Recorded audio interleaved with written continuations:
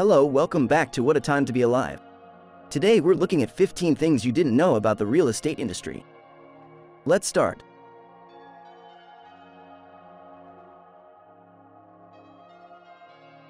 Number 1. The most expensive place in the world to buy real estate is in Monaco. Monaco has always been at the top of the list for expensive real estate. So this is no surprise in today's market, you could probably buy an apartment about the size of a roomy closet around 172 square feet for $1 million. But why is it so expensive? It's beautiful a tax haven if you're French. And of course, it has the Grand Prix Japan as next on the list with an average home in Tokyo only being 1,500 square feet and costing upwards of $600,000 New York City. Can't be left off this list either as apartments in the desirable borough of Manhattan go for around $3 million for 2,000 square feet.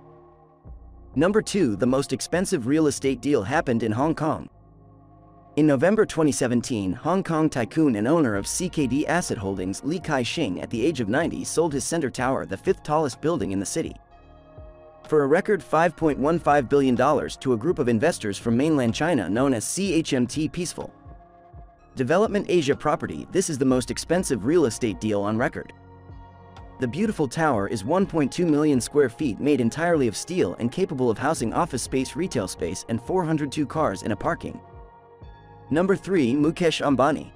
Chairman of Reliance Industries built the world's famous Antilia at the cost of $1 billion. Mukesh Ambani, chairman of Reliance Industries, built the world-famous Antilia in South Mumbai, India in 2010. To the tune of $1 billion, the 400,000 square foot tower requires 600 full-time staff members to keep things running smoothly. It has a garage that can hold 160 cars and three heliports. To scale while surrounded by poverty might not have been the most sensitive thing to do it just so happens to be the most expensive house in the world. Number 4. Blockchain applications are disrupting. The real estate industry blockchain technology, the ability to share databases and essentially information is set to disrupt the real estate industry with real-time updates on listings and smoother communication. With clients and agents and banks, this could speed up the buying process for all involved. Number 5. Global wealth is on the rise. Real estate investment is declining, but that doesn't mean the wealthy are not buying properties to live in and play. In while real estate as an investment seems to be slowing down in the market, the wealthy all over the world are still looking to buy a second, third, or fourth home. Why is real estate declining as an investment? Smart investors know what goes up must come down and even the wealthiest are not keen on. Investing in overpriced properties as an investment if they're not guaranteed a solid moneymaker. Number 6 Real estate agents might soon be looking for new jobs.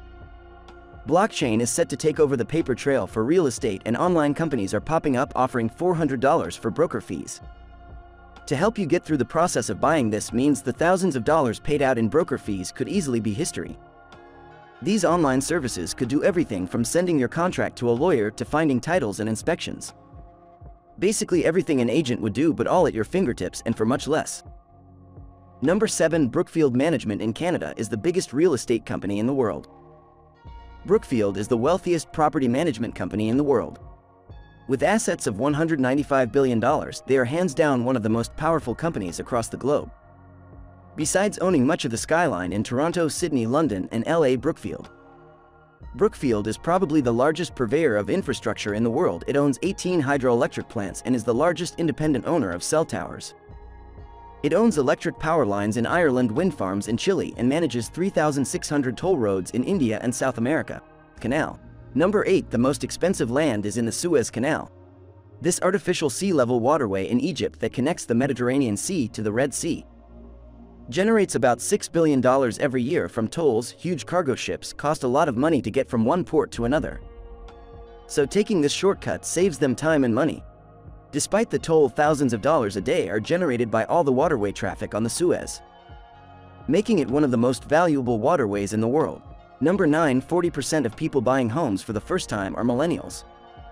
Despite being called a lot of things including lazy millennials are digging into their wallets to purchase real estate and many of them are first-time homebuyers making up 40% of the market is a pretty big deal.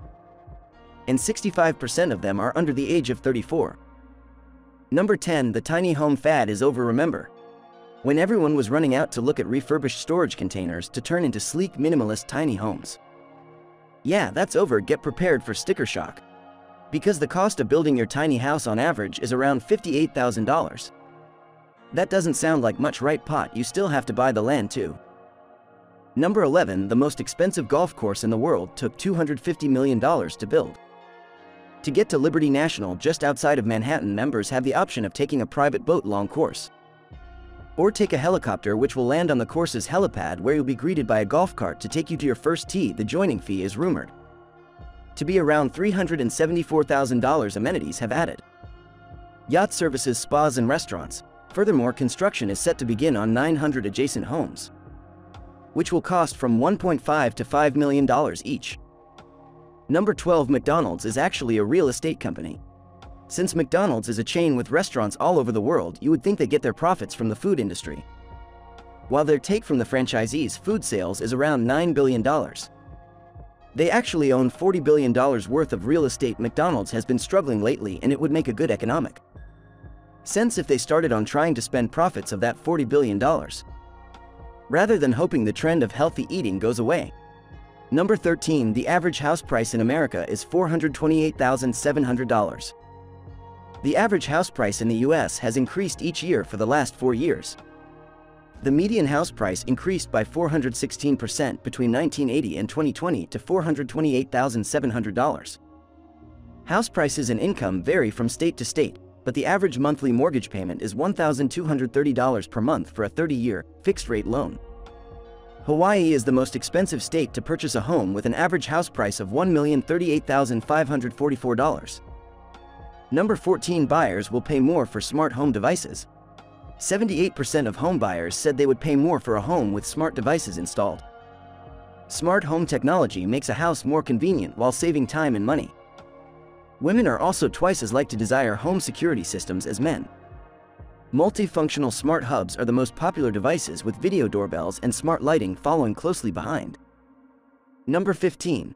The average home purchase takes 51 days.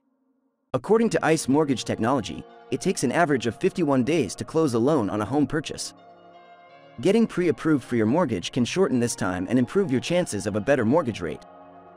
Keeping a close eye on your finances and preparing documents can also save time and speed up the home buying process.